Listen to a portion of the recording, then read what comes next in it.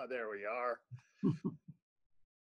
hey there, everybody. This is round two of one of the more uh, rough around the edges episodes of a, uh, a podcast of a, a, kind of a regular video um, uh, element that we want to keep putting out. That's Carolyn Baker and myself. I'm Dean Walker and this is the Poetry of Predicament podcast, and God knows if it's going to go out on the uh, Impossible Conversation podcast, and it might even end up on the new Lifeboat Hour. Who knows?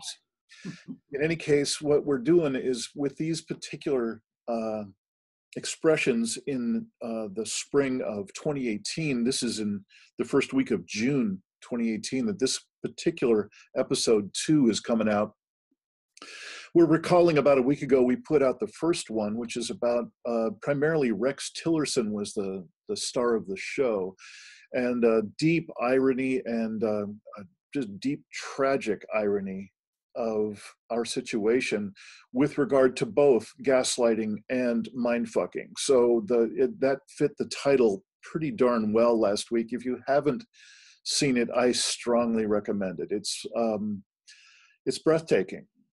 So what we're doing is we're kind of recapping uh, the last week's updates, and that's about all we can do is take a week at a time because if we if we wait too much longer than that, we have too many incidents of gaslighting and mindfucking to try and fit into a, a short show like this.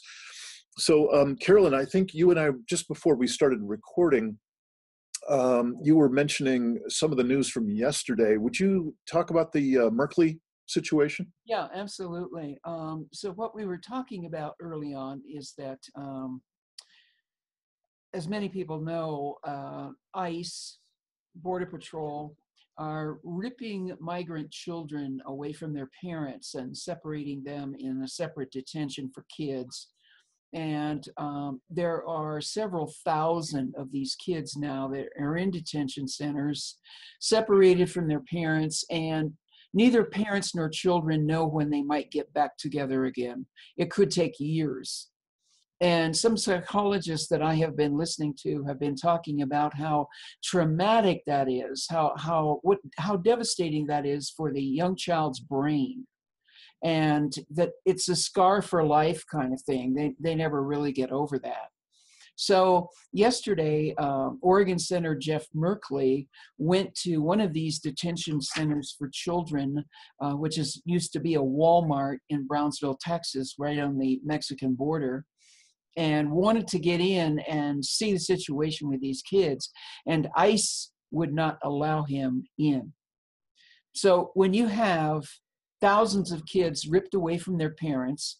And many of these people are just trying to get asylum in the United States. It's not like they were out wandering around and just decided to come here.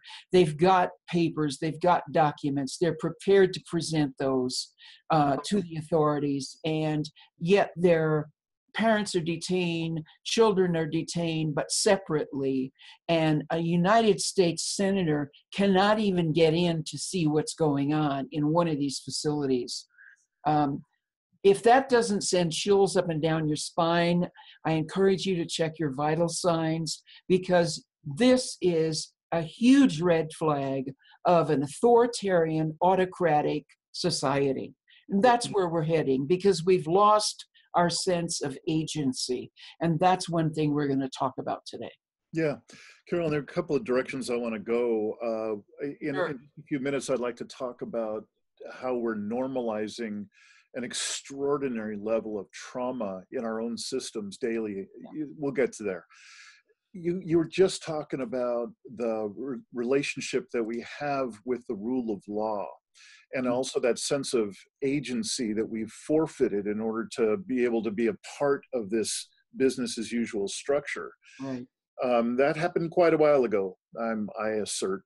And um, what, what seems to have happened just in this past year and a half in this extraordinary Trump filled environment is that we have had to somehow get our, get our heads around uh, the leader of the free world, the, in the most powerful position in the world as pres- president of the United States, uh, being able to just literally step on, stomp on the rule of law and to flout it. So I'm wondering if you could just say a little bit more about that in terms of not just the, the ICE situation, which really just takes my breath away when a congressman is turned away by a military organization of our own country.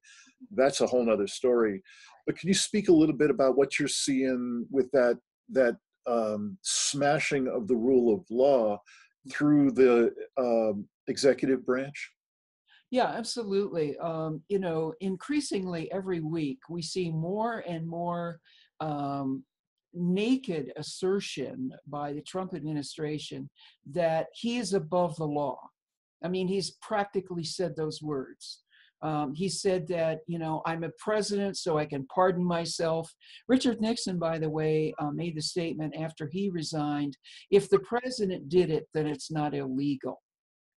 Um, Trump basically said the other day, or Rudy Giuliani speaking for Trump said that Trump could shoot somebody and get away with it because he's the president. Um, even before Trump was elected, he made that statement I could shoot somebody out on Fifth Avenue and my support would not go away. So, increasingly every day, we're seeing more and more assertions that the rule of law in this country is dead and if Trump does get away with these numerous crimes for which he's being investigated, and it's not just the Russian election interference, it has to do with money laundering and corruption and a host of other crimes. If he's allowed to get away with these, then the rule of law in this country is dead. Some people would argue, well, it's been dead for a long time. I don't believe it's ever been this blatant. And then we just become another banana republic, another autocratic society. And what makes us different from what happened in Germany in the 1930s? I don't think you have to think about that a really long time. Yeah. So I'd like to just draw a little little connection to last week's episode one of this uh, gaslighting and mindfucking um, series, and God knows how long this series will go. Maybe, maybe it'll be a while here. Um, last week there was a there were a couple of outtakes, and I I now regret uh, taking them out because um, they they were basically articulating how um, when confronted, when uh, fossil fuel major corporations are confronted with regulation of uh, nearly any kind, they uh, are uh, really apathetic. They don't have to care. They're too big to care. Right. They have too much power to care. And uh, one of the clips that I took out, which I guess I'll bring it back in in one of our later episodes, is um, one in which George W. Bush, when asked, you know, why why won't you uh, tell these guys what to do? Tell them that you want them to clean up the mess in this particular oil spill. He says, you don't tell these guys what to do. They don't get told what to do. That's the president of the United States a couple of uh, times back. Right. Like, oh my God. yeah. And now we have the opposite we have the president of the United States saying, I can tell you anything. You know, I can tell you anything. And, you know, he's he's not going to tell the oil companies anything at the moment, and he's busy trying to bail out coal. Mm-hmm. But if push came to shove, he would say, I can tell you anything. Yeah. Well, I guess what I'm pointing to is really just above a certain threshold of wealth and power that you then have a, a free ride ticket. You Absolutely. can basically call the shots and you can name the level at which you want to play and name the amount of income and benefit that you want to be able to reap from it. Right. Uh, and clearly, that's what uh, Donald Trump is up to. So, um, do we have I, before we get back to the the situation with the children and families and ICE. Is are there any other are there any other uh, recent events that we should be including in this particular stripe of the conversation? Hmm.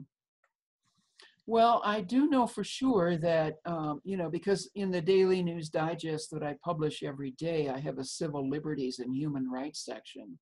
And I track that all the time. And I can tell you that police brutality is so far off the charts than it has ever been in our country since well, since the cracking of heads of immigrants and deportation of immigrants in the 1920s and 30s, um, and uh, the crashing of the labor movement and trying to shut that down, um, we haven't seen this kind of police brutality in many, many decades.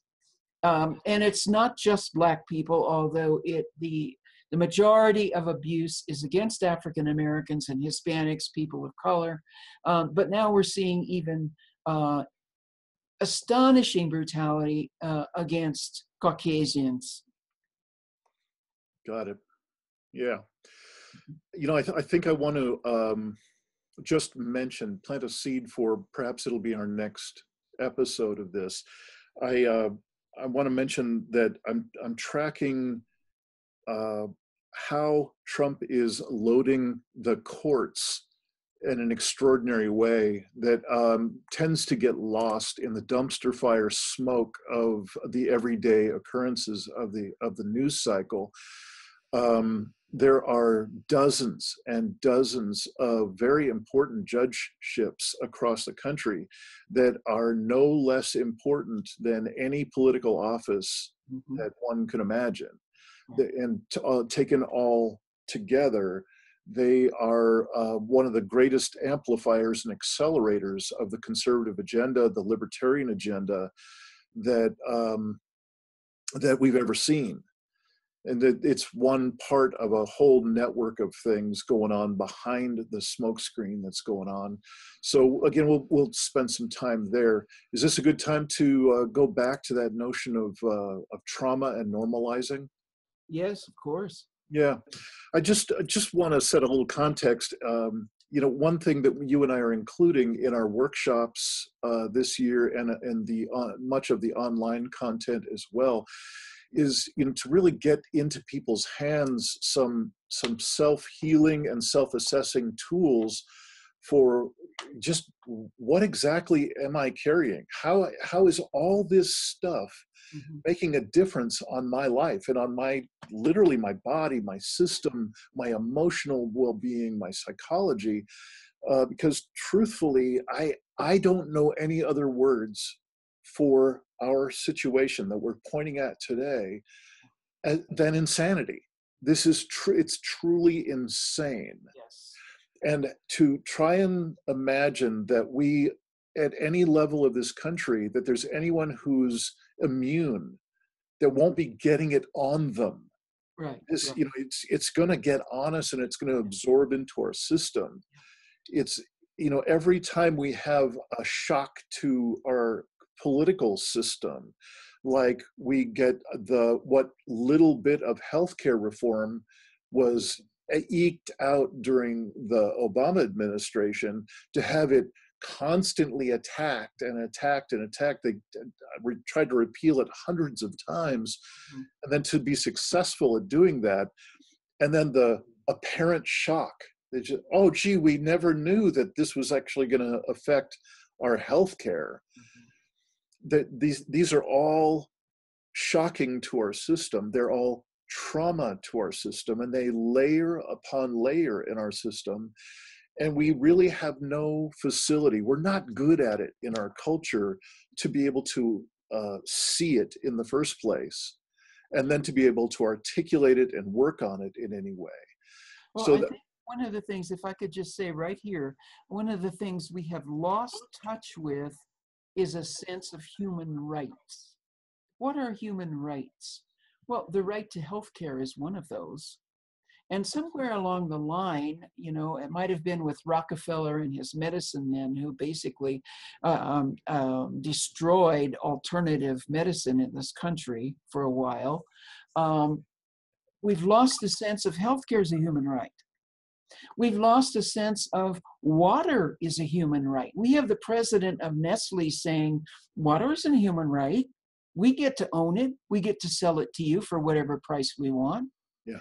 Or food, or kindness and compassion, or just a place to live where you're safe and you're not going to get beaten up or killed. You know, these are basic human rights.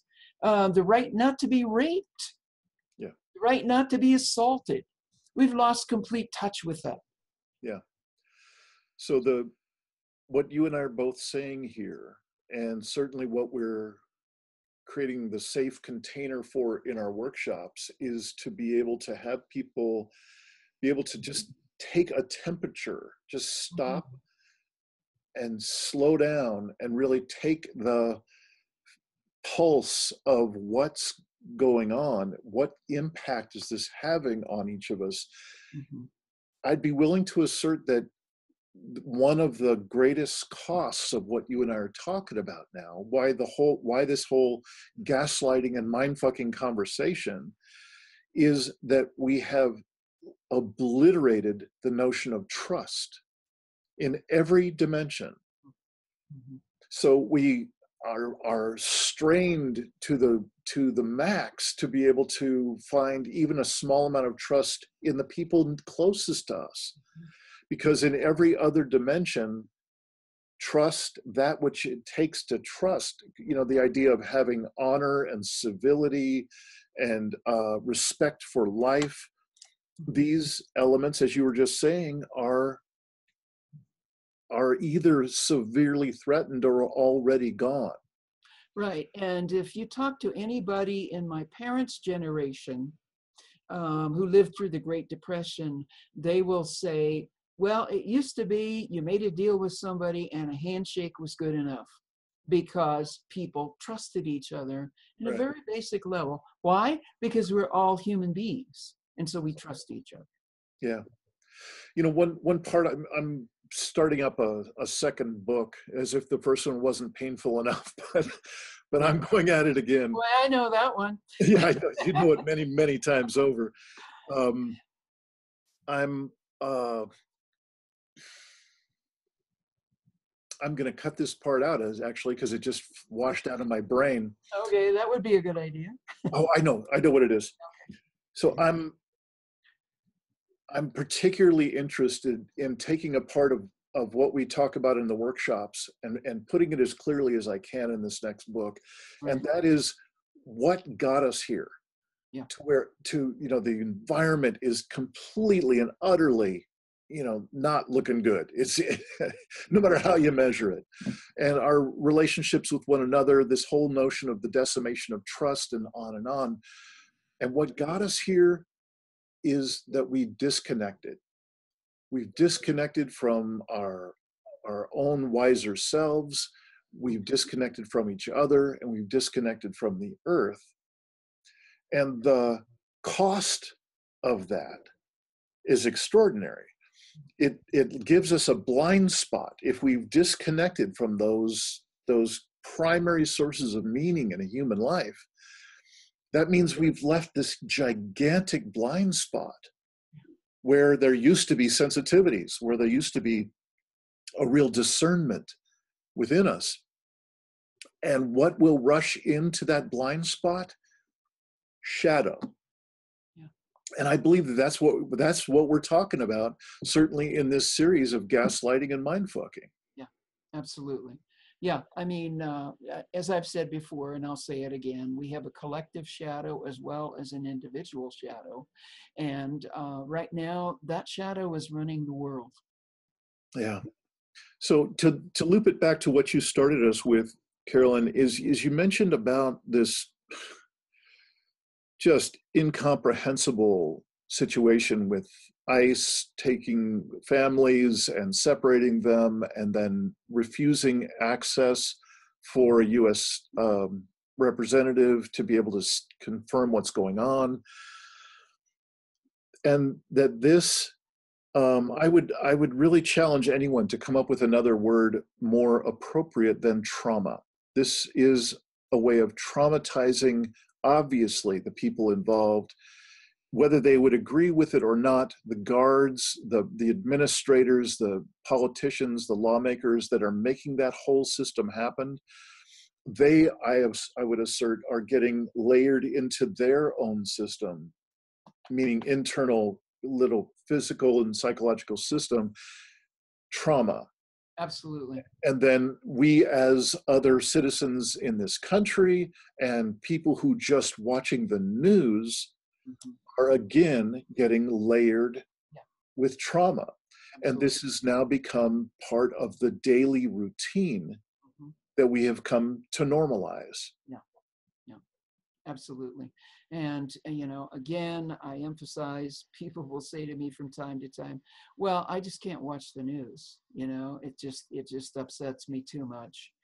And then they, they march off uh, into the sunset as if, well, I'm fine you know uh, i mean i don't watch it i don't listen to it so i'm good but in fact as we said in the last episode there is no way this is not affecting all of us whether we watch the news or not. Yeah. That's so true and you know i it feels like we might be getting toward wrapping up here and i i would not feel right if i didn't include um,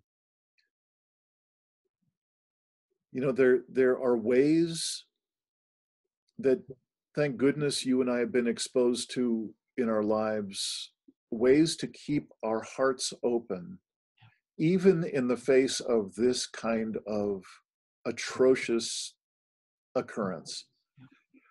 And I would wish that for us all that we would build up our inner capacity and our inner toolkit to you know some of the words we often use is to be resilient to find a way to be resilient instead of more discouraged and having a sense of completely lost our agency in life and our sense of purpose and meaning and dignity yeah. to be able to step in the other direction the direction toward dignity toward a, a mutual respect for life and interrelatedness yes. with life. I don't know about you, but that's why I'm doing this work that you and I are putting together. Yeah, absolutely. And, you know, um, I want to reiterate, I don't know if I said this last time, but I'll probably say it many times. Um, we are headed for the collapse of industrial civilization. We have been for decades. We are headed for terrible climate catastrophe. And what I'm interested in is not preventing those things because they're not pre- preventable. But what I am interested in is making the descent and the tumbling down over the cliff as humane and with the least brutality as possible. I'm interested in softening the blows. Mm-hmm.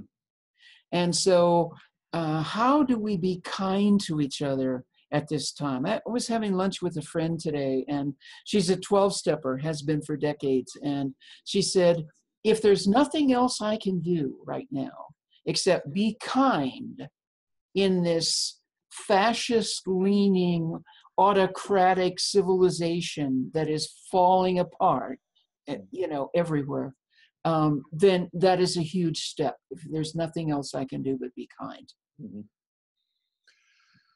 That's really well said. I um, it's it's one last thing. Promise. yeah, yeah. Um, there's a little bit of my heart breaks on top of all the stuff we're talking about. There's a little pocket that particularly uh, hurts when it when I'm aware of it that I've been aware of uh, past couple of weeks in particular is I'm seeing so many folks that that you and I know in the various circles of what we might call collapse aware people. Mm-hmm. You know, so we've got some knowledge and we we're we've had our woke moment and, and we're doing our best. And we try to connect with other people. We've gotten a sense that, yeah, this is a good time to find allies. This is a good time to have our tribe and get people that you love and be around them. And what breaks my heart within that is how just because we have a little bit of knowledge about this, because we're a little bit more collapse aware than the average person, Mhm. it gives us absolutely no special agreement or arrangement to know how to be with one another in a different way. So the best we can do is in our saturated state, uh, meaning we're saturated with this business as usual way that we're all taught to be in a predatory business as usual world where we're all separate. And what's been breaking my heart is these people just doing their best with a little bit of awakening and a little bit of heart and they come at each other with that kind of business as usual predatory judgment and so on even though they're supposedly allies. And this So, is the that's just a little sharing on my part. It, what that does is inspire me to to bring some pieces we can work on together Mhm. in the workshops that we're going to be doing this year, July and October, and uh, and offer those pieces up so that so people don't have to reinvent the damn wheel. Absolutely. I agree. I don't think we have time for that. We don't. Yeah. So, Carolyn, thanks for this kind of freewheeling second episode of gaslighting and mind fucking. And um, next time, I think we're going to go uh, in a slightly different direction, but it's all the same. Um, I sure do appreciate your insight. Uh, if people are not familiar with Carolyn's work, I'd recommend look up Carolyn Baker on Amazon or any other place where you can get books, and uh, you'll find many. And they're all extraordinarily valid to the point right now, to the to what we're facing right now. Or just go to my website at carolynbaker.net. Ah, Thank you. Good. So um, until next time, uh, that's um, I'm Dean Walker, and I'm this Carolyn is uh, what's that? I'm Carolyn Baker. And she's Carolyn Baker, and uh, we will see you again uh, in the very near future with another episode of uh, gaslighting and mindfucking for your entertainment and hopefully for your educational value. Thanks. Take care out there. Thanks, everyone.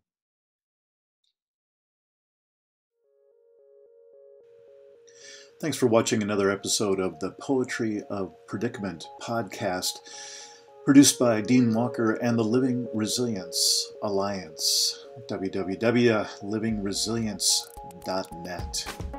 You may want to check out our sister podcasts, the new Lifeboat Hour with Carolyn Baker on Podbean and at carolynbaker.net.